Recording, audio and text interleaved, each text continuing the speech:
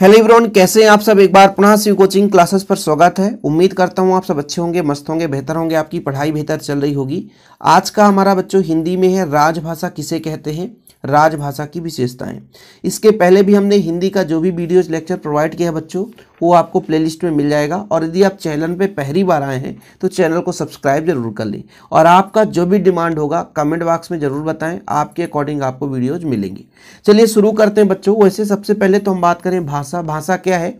एक प्रकार से विचार को व्यक्त करने का माध्यम है। जैसे हम आपको पढ़ा पा रहे हैं तो कहीं ना कहीं एक निश्चित भाषा है, जिसके माध्यम से हम बोल रहे हैं और उसको आप समझ रहे हैं। तो हमारे विचार को आप समझ रहे हैं मतलब हमारे विचार आपके पास तक पहुँच पा रहे हैं तो कुछ ना कुछ एक माध्यम है और वही विचार व्यक्त करने का माध्यम भाषा हो गया।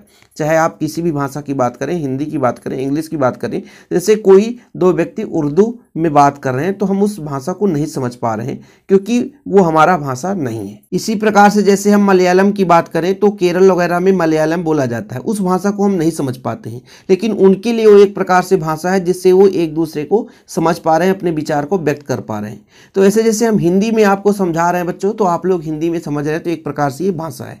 कहीं ना कहीं एक विचार व्यक्त करने का माध्यम हो जाता है, और वही भाषा जब एक बड़ा सा विस्तृत रूप ले लेता है तो आपको राष्ट्रभाषा कहला जाता है। लेकिन एक ऐसी भाषा भी होती है जिसका हम उपयोग सरकारी कामकाज के लिए होते, करते हैं। मतलब एक ऐसी भाषा जिसका उपयोग हम सरकारी कामकाज के लिए करते हैं, वो हमारा राजभाषा कहला जाता है। मतलब भाषा का ही एक विस्तृत, परिष्कृत रूप हो जाता है राजभाषा। यानी राजकीय काम, यानी जैसे आपके राज्य में, जैसे हमारा मध्य प्रदेश है, मध्य प्रदेश में जो सरकारी कामकाज होगा, वो मुख्य रूप से हिंदी से होता है तो हिंदी एक राजभाषा कहला जाता है।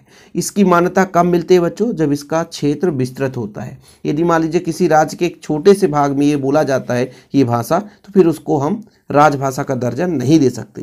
जैसे हमारा क्षेत्र बघेली है तो बघेली जो आपका एक प्रकार से बोली है, वो राजभाषा का दर्जा नहीं प्राप्त कर सका क्योंकि एक छोटे से क्षेत्र की भाषा है। वो एक प्रकार से भाषा ही है, लेकिन उसको विभाषा या हम मातृभाषा कह सकते हैं या उसे हम बोली का नाम दे सकते हैं छोटे से क्षेत्र वाले को। ठीक है, लेकिन उसका जब विस्तृत रूप होता है, उसको ज़्यादातर लोग उसे समझ पाएँ, वही आपका राजभाषा कहला जा सकता है। और मुख्य रूप से राजभाषा का उपयोग हम सरकारी कामकाज के लिए करते हैं। जैसे भारतीय संविधान के अनुसार हिंदी भारत की राजभाषा है। सात राज्यों में राज्यों की भी बात करें तो सात राज्यों में भी आपका राजभाषा हिंदी है। ठीक है? बाकी अन्य राज्यों में जिस मैंने कहा, जैसे मलयालम है, मराठी है, आप अपने अनुसार जहाँ भी, जैसा भी जिस राज्य में प्रयोग करना है, उसको हम राजभाषा के रूप में प्रयोग कर सकते हैं। वो आपके अकॉर्डिंग है।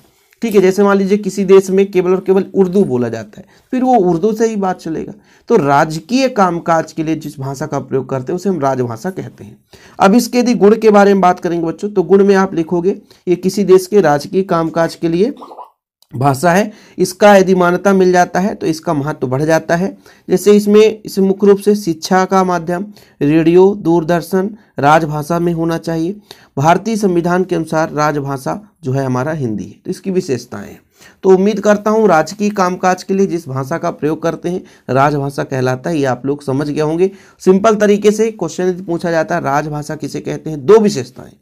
दो से ज़्यादा कभी पूछे ही नहीं जाता। तो वही आपका परिभाषा है और वही आपका विशेषता है। ठीक है? शिक्षा का माध्यम रेडियो दूरदर्शन राजभाषा में होना चाहिए। भारत के संविधान में हिंदी को राजभाषा का दर्जा मिल चुका है या मिला भी है। ठीक है? चलिए, यदि ऑब्जेक्टिव में आ गया कि मध्य प्रदेश के कितने राज्यों में राजभाषा हिंदी है तो सात राज्यों में राजभाषा हिंदी है। छोटा सा वीडियो है, पसंद आए तो लाइक करके शेयर कर देना। जय हिंद बंदे मातरम।